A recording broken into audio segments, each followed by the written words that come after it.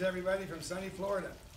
It's my pleasure today to announce the winner of the Rondeau Seminar Sweepstakes, Ryan Odenart from British Columbia. He's an Aussie. He's only taken my level one course. He's never seen me live. So he's going to get a chance to see me in Vegas. He's just won the big prize. It's a one-way trip to Vegas, entertainment capital of the world, to see the Ortho TMD Sleep Conference in Caesar's Palace on October 26th and 27th.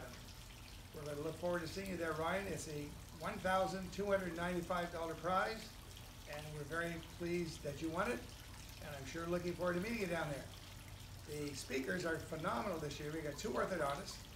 The first one is Bruce McFarland, and he's talking on Invisalign and the Carriere Motion appliance for treating class twos.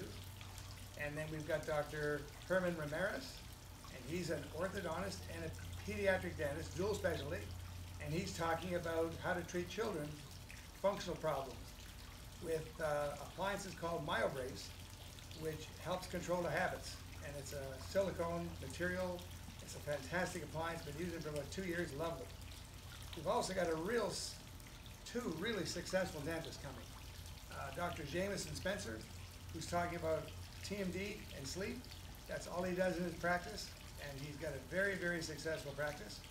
Good friend of mine. And also, uh, we've got Dr. Daniel Kleiber. And uh, Dr. Kleiber is, is also a very successful dentist. He's only been doing sleep for like three, four years, and he's got a multi-million dollar practice. Unbelievable. He's been working with a consultant friend of mine, uh, Dr. Scott Manning, who's also been working with me for the last year, and our practice has gone up 30%. So I'm doing a course with Scott in Nashville called the Mastership. You may want to look online and look that course up. I think it's going to be a tremendous course teaching ortho, TMD, sleep, and practice management. The last speaker is me. Well, Scott Manning is also going to lecture. He's going to lecture, and uh, I'm going to lecture on class twos.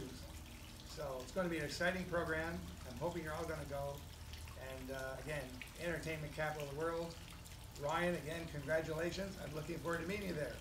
Hopefully, many of you will be attending. Okay, all the best. Take care.